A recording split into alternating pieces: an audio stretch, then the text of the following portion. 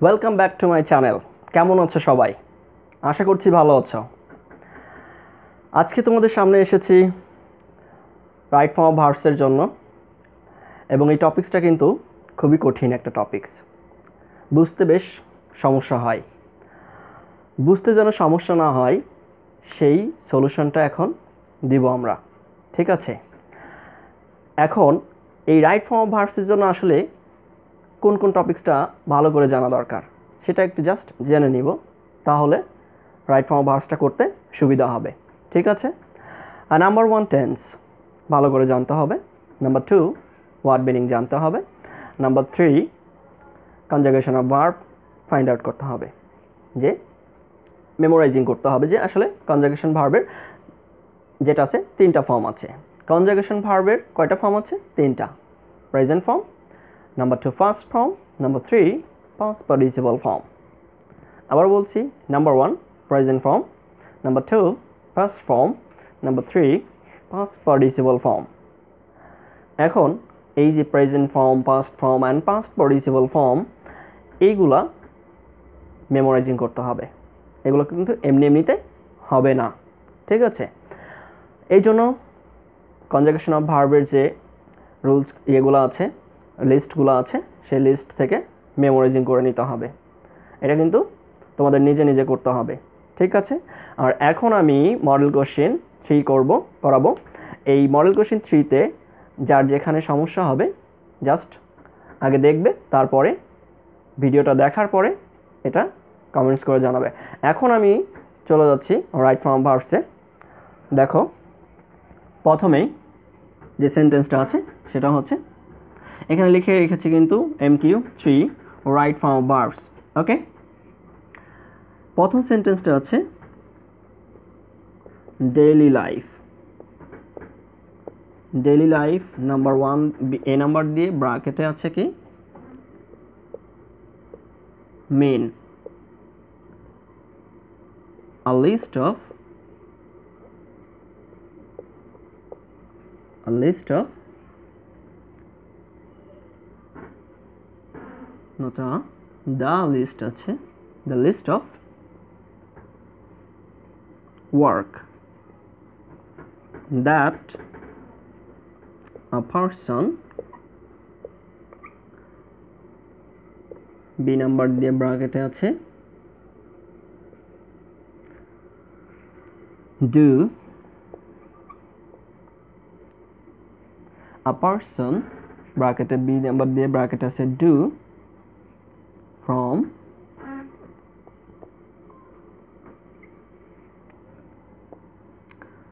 Down to desk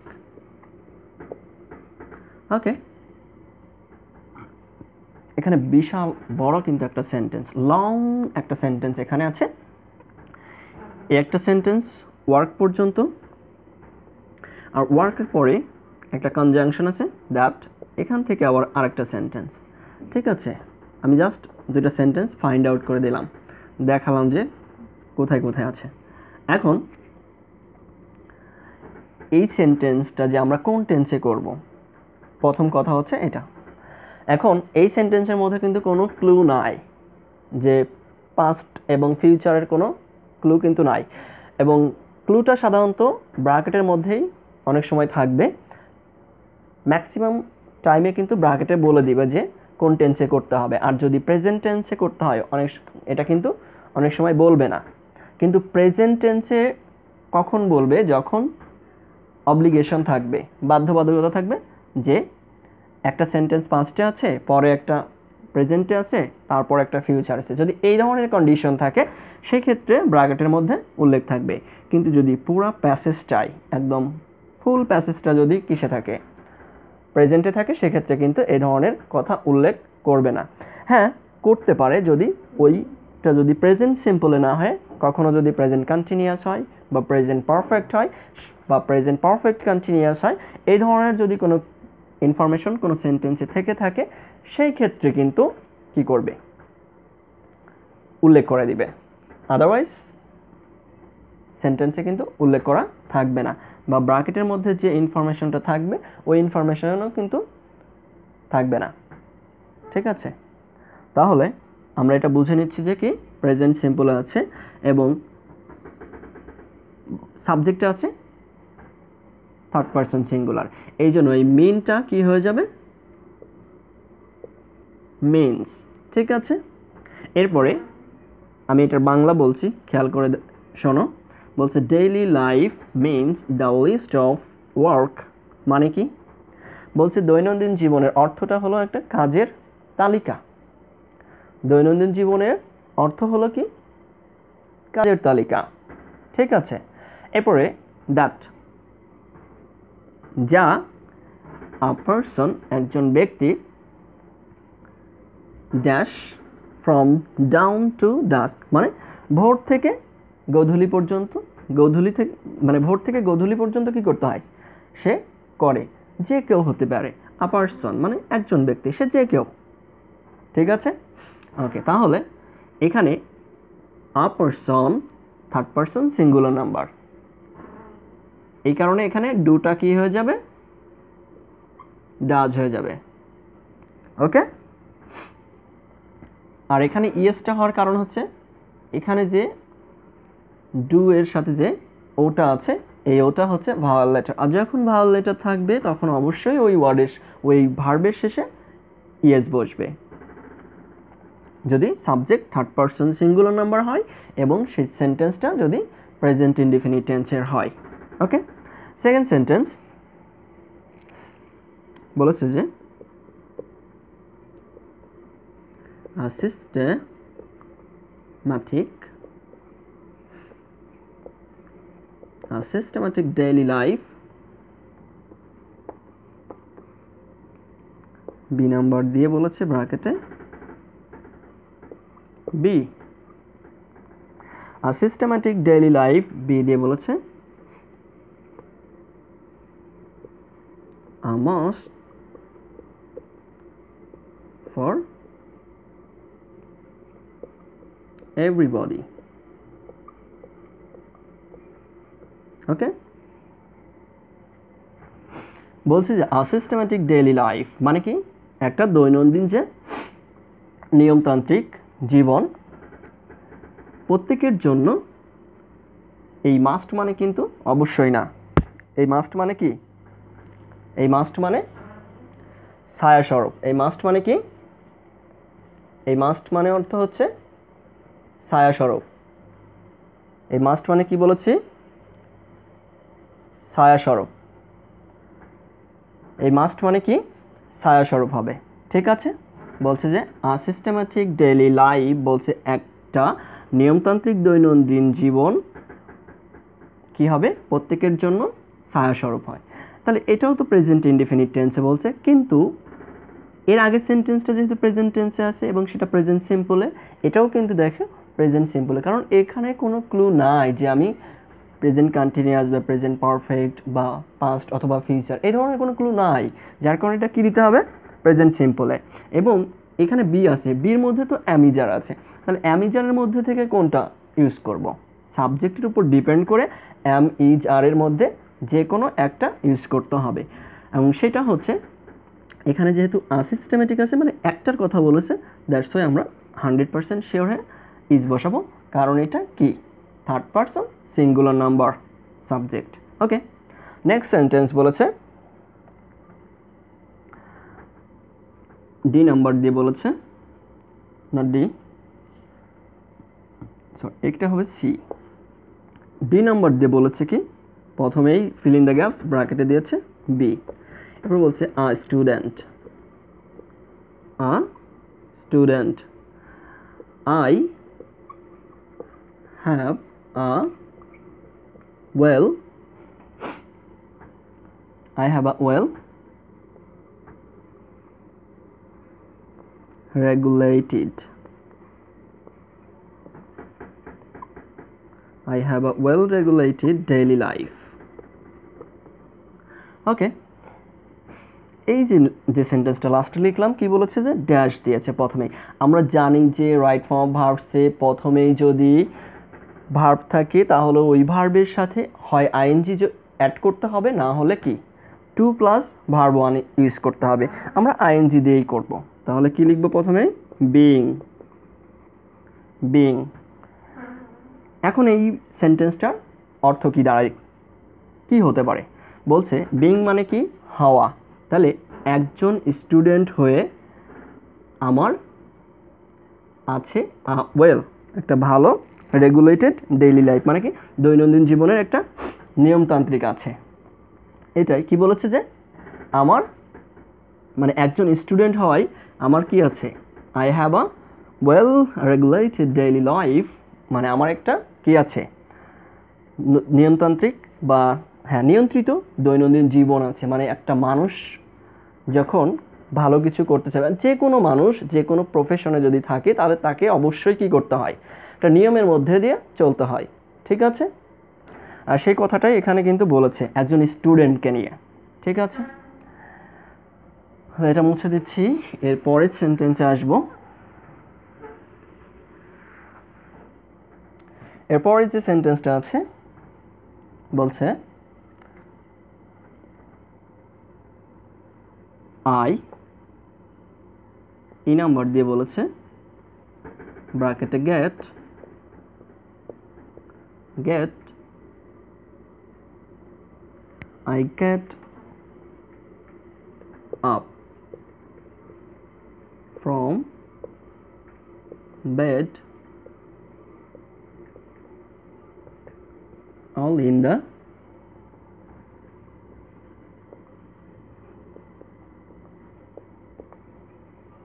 morning এই সেন্টেন্সটা কিন্তু একদম সিম্পলই কারণ এখানে কোনো ধরনের কোনো ক্লু নাই। এর আগে সেন্টেন্সটা ছিল প্রেজেন্টে যার কারণে এটাও কি হবে? প্রেজেন্টে এখন প্রেজেন্টের কোনটা? যদি কোনো, অন্য কোনো সেন্টেন্স টেন্সে করতে বলে যে প্রেজেন্ট কন্টিনিউয়াস বা প্রেজেন্ট পারফেক্ট বা পাস্ট সেক্ষেত্রে কিন্তু একই কথা বারবার বলে আসছি যে এই ব্রাকেটের মধ্যে একটা অপশন দেওয়া থাকবে, অথবা এই সেন্টেন্স দেখে বুঝতে হবে। কিন্তু সেন্টেন্স দেখে তো বোঝার মতন কোনো অপশন নেই, সাথে ব্রাকেটেও কিন্তু কোনো ক্লু দেওয়া নাই।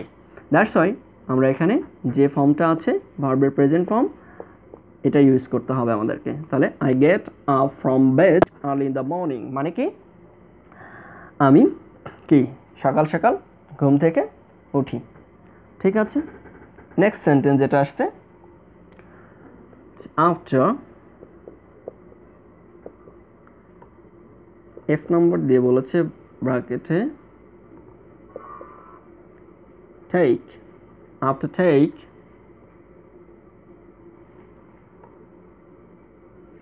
to take the ablution I say my father prayer এখন এটা তো প্রেজেন্ট সিম প্রেজেন্ট ইনডিফিনিট টেন্সে আছে দ্যাটস ওয়াই প্রেজেন্ট সিম্পল টেন্সে আছে। এখন আফটার আছে। আফটারের পরে আমরা জানি যে কোনো ভার্ব যদি থেকে থাকে, তাহলে ওই ভার্বের প্রেজেন্ট ফর্মের সাথে আইএনজি হবে। খুব সহজ কথা। তাহলে কি লিখলাম? টেকিং তাহলে বলছে আফটার টেকিং দ্য অ্যাবলিউশন মানে কি? অজু করার পর আই সেই মাই ফজর প্রেয়ার মানে কি? আমি ফজরের নামাজ পড়ি। নেক্সট যে সেন্টেন্স বলেছে then I go out for walk. মানে কি? তারপর আমি বাইরে হাঁটতে যাই। বাবা, আমি বাইরে হাঁটার জন্য যাই। যাই বলি না কেন then I go to for work মানে তারপর আমি বাইরে হাঁটতে যাই। নেক্সট এরপরে যে সেন্টেন্সটা আসছে, সেটা হচ্ছে জি নাম্বার দিয়ে বলেছে ক্যাব দিয়ে ব্রাকেটে বলেছে come back come back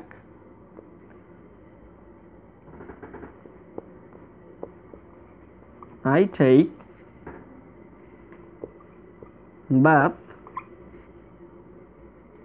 and have my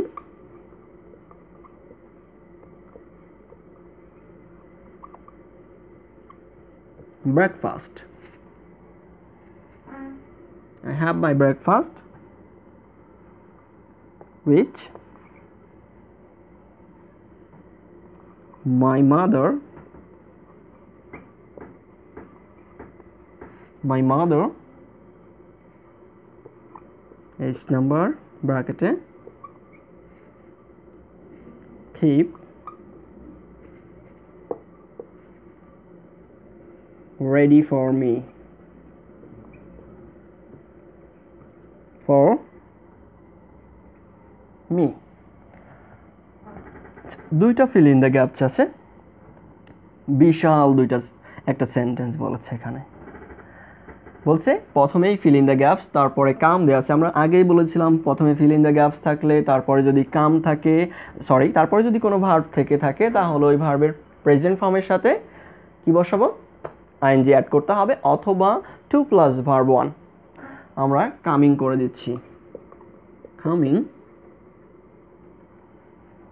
back ফিরে আসার পর, ফিরে এসে নট ফিরে আসার পরে, ফিরে এসে কামিং ব্যাক মানে কি? ফিরে আসা। তাহলে ফিরে এসে আই টেক ব্যাপ এই টেক মানে কিন্তু নেওয়া না, এই টেক মানে এখানে গোসল করা হবে। আই টেক ব্যাপ আমি গোসল করি অ্যান্ড হ্যাভ মাই ব্রেকফাস্ট আমি আমার সকালের নাস্তা খাই। হুইস যেটা। এই হুইচটা বলতে কোনটা বোঝাইছে? এই মাই ব্রেকফাস্টের কথা বলেছে। এই হুইচ বলতে কার কথা বলেছে? মাই ব্রেকফাস্টের কথা বলেছে যে, যেটা মাই মাদার কি করে? মাই মাদার কিপ ড্যাশ বলছে ড্যাশ কিপ ব্র্যাকেটে রেডি ফর মি আমার জন্য কি করে? রেডি রাখে। কিপ মানে কি? রেডি রাখা। কিপ মানে কি? রাখা। তাহলে কি হবে? মাই মাদার কিপ আছে। এই সাবজেক্টটা খেয়াল করতে হবে। কোন টেন্সে থার্ড পার্সন সিঙ্গুলার নাকি?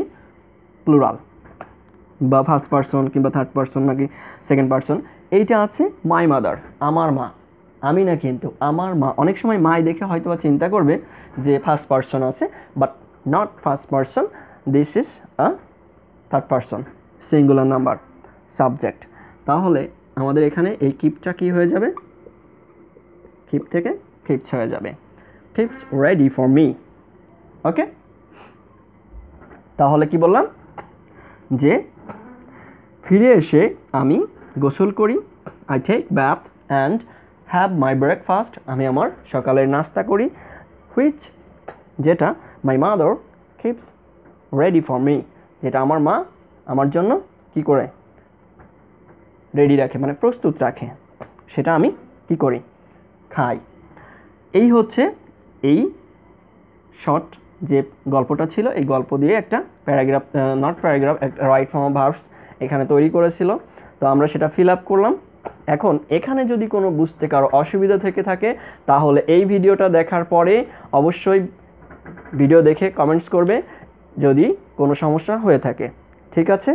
আর এটা অবশ্যই একবার না মিনিমাম দুইবার এই ভিডিওটা দেখবে। তাহলে হয়তোবা বুঝতে কারও কোনো কোথাও সমস্যা হবে না। ঠিক আছে? তো আজকের মতো এই ভিডিও এখানেই শেষ করছি। ভালো থাকবে সুস্থ থাকবে। আল্লাহ হাফেজ।